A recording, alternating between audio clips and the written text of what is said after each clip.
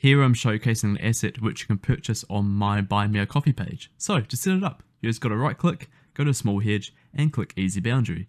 So you can see that this thing appears here. Now what is it? You can see here's the parent and under its parent is a bunch of nodes. With these nodes, you can drag them around and put them into any position that you like. You can even select the node and you can duplicate it to make more nodes. Now what actually is this? If I were to click boundary, the parent, and toggle off visibility, you can see that's made up of all these box colliders. So you can create any kind of boundary that you can think of. So if I turn that back on, you can select any node, you can delete them, and it'll automatically delete. And of course, you can put it into any shape that you like. So if I were to go to boundary, let's say I like this combination here, I'm going to click confirm.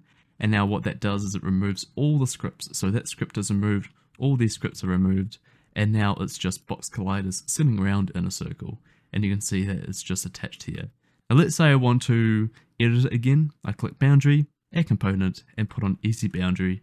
And now you can see that I can move all these nodes again. I can duplicate them and I can delete them as per usual. So let's put a real example out in here. And I've got these cubes. I'm going to right click and create another boundary.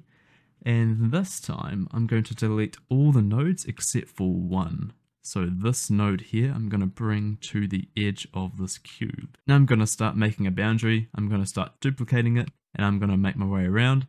And you can see that this is a little bit annoying here. So I'm going to click boundary and I'm going to turn off close loop so that I can really see what I'm looking at.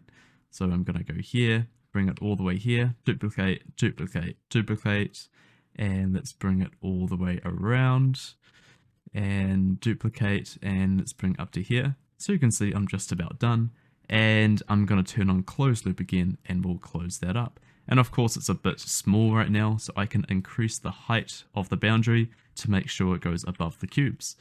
So I can click confirm and now I've got my box colliders all set.